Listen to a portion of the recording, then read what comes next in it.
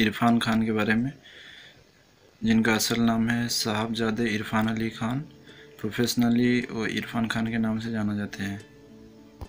उनका पैदाइश उन्नीस सौ सात जनवरी राजस्थान के जयपुर में और उनका मृत्यु 29 अप्रैल 2020 में हो चुका है तिरपन साल की उम्र में। और वो बहुत सारा अवार्ड भी पा चुके हैं।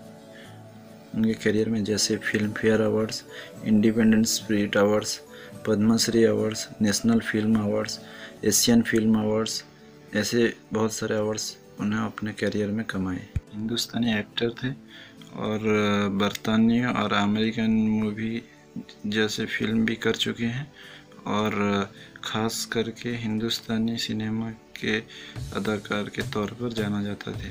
उन्होंने 2018 मार्च में एक ट्वीट के माध्यम से ये बताया था कि उनके एक ट्यूमर का पता चला है और इसका इलाज करने के लिए वो यूके गए थे और फिर फरवरी 2019 में वो इलाज करके वापस आ गए।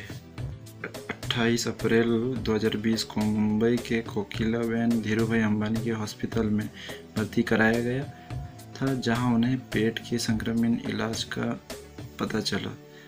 और इसी संक्रमण के कारण तिरपन वर्ष के आयु में उनकी मृत्यु हो गई। इरफान ने 1955 में लेखक और साथ ही एन ग्रेजुएट सुतप्पा सिकदर से शादी की और जिससे उनके दो लड़के भी हैं। मूवी जैसे Paan Singh, Tomar the lunch box, Piku, Maqbool, Talvar, Angrezi medium, Hindi medium, the नमी शेख, लाइफ ऑफ़ पाए और भी बहुत सारे ऐसे।